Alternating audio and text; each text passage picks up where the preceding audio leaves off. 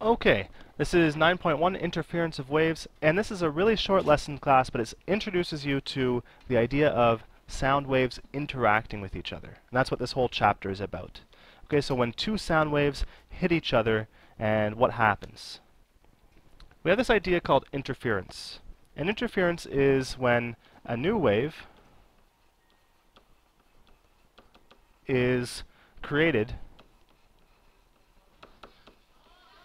when two waves meet.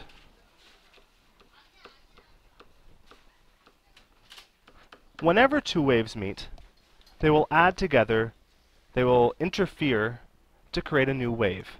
And you can see in this picture here, if we have these waves that are moving along, um, each one of these waves has some sort of circular motion going on, and we're not going to talk too much about how that happens, these waves, but in the water, these waves have this circular motion. You can see that these waves are moving to the right this way, so we have this going to the right. And if we have another wave coming from the left that looks the same, when they add together, they will interfere, and you see that we get a larger wave that goes straight up, straight down, none of this circular motion because the two circular motions have cancelled out. And again, that's just an example so you can see what's happening. That's the two waves interfering. When they interfere, we can figure out the result. We can figure out how they interfere by using the principle of superposition. And this says that when two waves meet,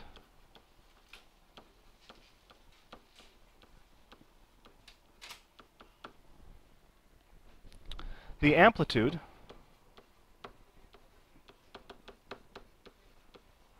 is the sum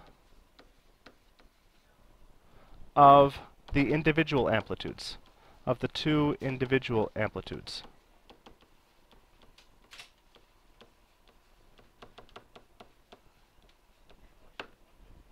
So they actually just add up. You can take each point and add them together. When you lay your two waves on top of each other, you can just add each point together to get the result. We'll see that below. Um, we have two types of interference constructive interference and destructive interference. This is the first one here, constructive, and destructive is just down here. So constructive interference, this is where two waves add together to make a larger wave.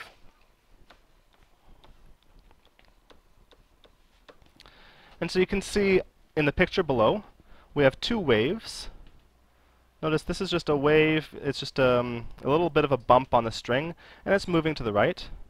And we have a second wave, a larger bump on the string, moving to the left. They're moving towards each other. When they reach each other, they add together, because they're both in this positive direction. So you can see that here's the first wave, and this is where it starts overlapping with the second wave. And they add together that way. When they're fully on top of each other, so if my original waves were like this, and like this. Those were my original waves. they are on directly on top of each other now. You can see that the result when you add those two together is this even larger wave. And then they start moving past each other. So you can see we have our, our um, larger of the two waves, our smaller of our two waves, and here's where they're sort of added together is in this section. And they're moving away from each other now. And then they've fully passed they haven't changed size or shape at all. They look the way they did originally. They've passed each other and they, they keep their shape now. So that's our constructive interference. The same idea with destructive interference, but this is when two waves add to make a smaller wave.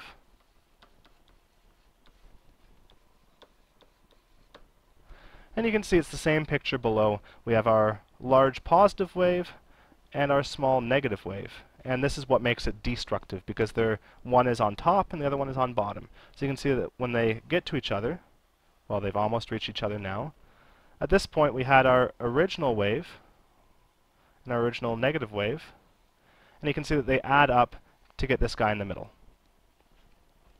And again, they've passed each other. They keep on moving in the direction they were going. They've passed right by each other in this case. Okay, that's our destructive interference. There's one last little idea here, which is um, a really cool use of this idea of destructive interference, which is noise-canceling headphones. And these cancel cancel outside noise using destructive interference.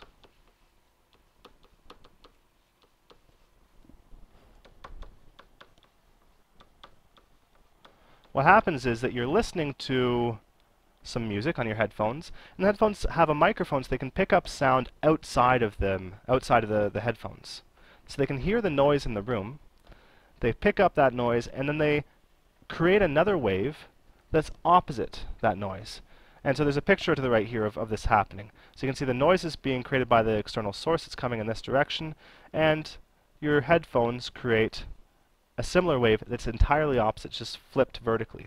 And you get the result here, you can see if that's the noise and that's the cancel, the result will be zero along there. Noise, cancel, you'll get just a flat line. And that's how it works. It, it fully cancels out the other, the outside noise. So it's cool. It, it sounds silent when you're listening to, to stuff on there, except for your music. And the benefit here is you can listen at lower levels to your music, which will do less damage to your ears. Okay, and there's one little example here at the bottom. It says these two waveforms are about to interfere with each other. Draw the resultant waveform. Well, what we have is, if I call this t0, this is the first time window, and I'll draw three more. So here's t1, and this is when the waves meet. And this is, if you're, if you're solving this sort of a problem, this is the way I would recommend approaching it. So, um, so at this point here, the waves are going to meet. So I've got my original waveform is this square. And then you can see that the, the other one is this negative waveform. And this is so the edges are just touching now. So this is when the two waves have met. Have met. And if I have them fully overlapping in the next window, this is T2, fully overlap.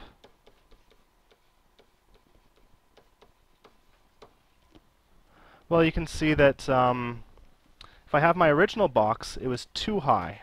And this one goes down by 2. And there are one, two, three, four across, one, two, three, four across. So you can see that if I add this negative, if they're sitting right on top of each other at the same point on the on the string or whatever, then you can see that the positive 2 here will cancel out with the negative 2, so we'll get a 0. And over here, we still have a positive 2, but we don't have quite as negative a value, so it'll be up a bit. Whereas all the way at the end here on the right, the, the negative waveform is at 0, the other one is still at positive 2, so you see that we get a, a shape that looks fully like that. So starts at 0, goes up to positive 2, and then it, it ends. So this is when they're fully overlapping, and our last window here will be when they, uh, T3, when they have passed each other.